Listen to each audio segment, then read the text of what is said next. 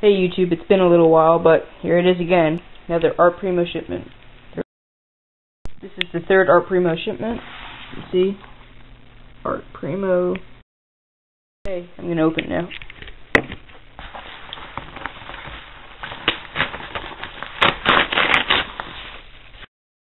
This is a relatively small shipment. We got one soul tip, and this is both for me and my friend uh, Art Primo Drip Mop Mini.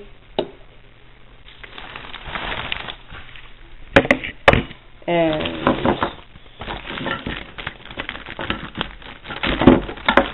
two point seven ounces of Smash Ink Playa Blue. Four ounces of the Grape Depression Smash Ink. Okay, so this the Playa Blue is gonna be for my friend.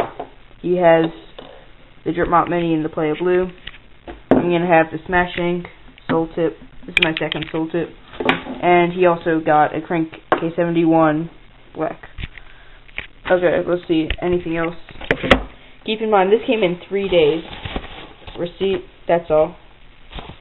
Yep, no more caps this time. Okay, so, four ounces Soul Tip. Krink K71, Drip Mop Mini. Let's see the nib on this thing. I haven't seen this yet. I don't know if you can see that. I think it's mohair. It might be felt. Nice. And before I had the teal 2.7 and I really liked it, but now I'm trying a new thing. Grape Depression, Lavender, Violetish. 2.7 ounces. Nice. A few YouTubers have asked me about the mohair nib on the Soul Tip. It's very, it's very nice. It's very good on all surfaces.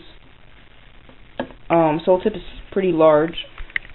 The Soul Tip can hold four ounces of ink. You'll want to have it about three fourths of the way, or a little bit more, maybe four fifths, because if you put too much ink on the top, um, when you put the nib back on, it'll overflow, and you don't want that. This is the Krink K71 nib. Very durable. Very good smash ink. Soul tip. Krink K71. Drip Mop Mini. 2.7 ounces Playa Blue. I'm going to have detailed reviews for every single one of these products.